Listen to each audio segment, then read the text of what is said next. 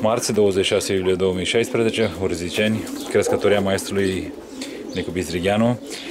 Acum am plăcerea să filmez într-unul din compartimentele porumbeilor de zbor și avem în fața noastră pe o parte dintre porumbei care au participat la ultimele concursuri de fond și maraton, da? Da. Ce avem aici, domnul? Astăzi, sunt- aici sunt masculii văduvi care au sosit de la Donetsk și de la Kremenciuc. Se prezintă după, foarte după bine. ce au bă. făcut uh, baie, Da. nu bine, super. Super bine, păi de asta super, zic, da. da. Foarte bine, Eu sunt mulțumit. foarte bine, foarte bine. Da. Foarte bine, ia uitați. La odihnă, răcoare acum.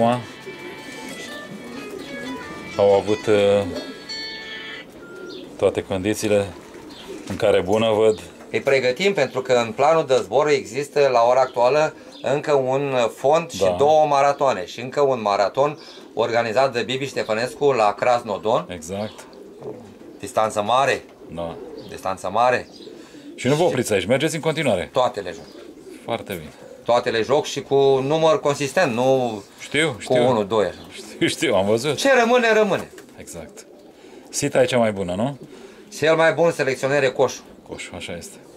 Oricât am fi noi de pricepuți, tot coșul e boierul.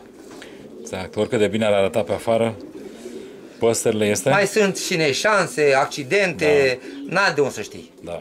N-ai de unde să știi ce se întâmplă. Mai ales când sunt concursuri catastrofale cu grindină și cu vijelii, n-au nicio vină săraci porumbei. Așa este, așa este. Zboară câteva sute de kilometri și dacă au ghinionul să dea într-un... Într-o zonă cu grindină, zonă cu grindină. îl trântește în lanul de Da. floarea soarelui sau de porumb, nu mai iese de acolo Exact. în veci.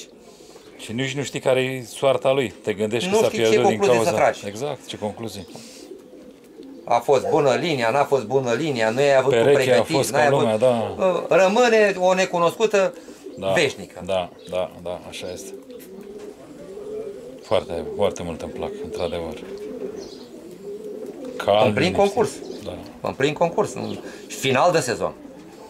Cum stați cu penele la cu năpârlitul? N-am, n-am N-aveți probleme, Nu. nu? Țineți totul sub control. Uh, Domnul Alexandru, deci eu, după ce se încheie concursul, îi las pe toți să scoată cât un pui și a doua pereche de ouă și duc năpârlirea până în toamnă cât se poate de târziu.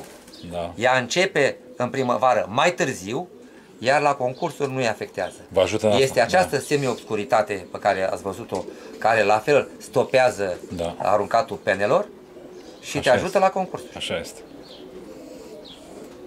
Lucruri pe care le-a spus în nenumărate rânduri și o faceți de fiecare dată și pentru asta crescătorii mai tineri sau mai puțin tineri, cu mai multă sau mai puțină experiență, să știți că vă apreciază. Mulțumesc. Sunteți unul dintre puținii crescători români, columbofili români, care răspunde cinstit la întrebările care îi se adresează. Fie de către mine, fie de către alții. Fie direct, fie pe internet. V-am mai spus, nu luăm cu noi pe lumea la Nu ascundeți nimic, exact. Păi n-are rost.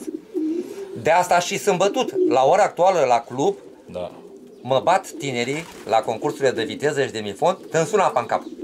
Nu mai puțin adevărat că eu am și renunțat la porumbeie de viteză de mifon. Știu. Dar au învățat, aplică Exact. și să vezi bătăi pe capul nenicu.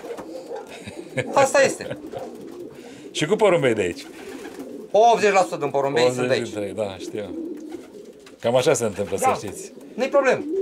Nu-i problemă. Știu. Dacă ești priceput și ai încredere în tine, te duci și joci de alea mai grele. Da, Dacă acolo obții rezultate, înseamnă că ți-ai atins țelul. așa este. Dacă nu, Așa ca este. la loterie, mai tragi un bilet. Super. Felicitări încă o dată pentru Mulțumesc. modul cum vă pregătiți Mulțumesc. porumbei, domnul Vizdicheanu.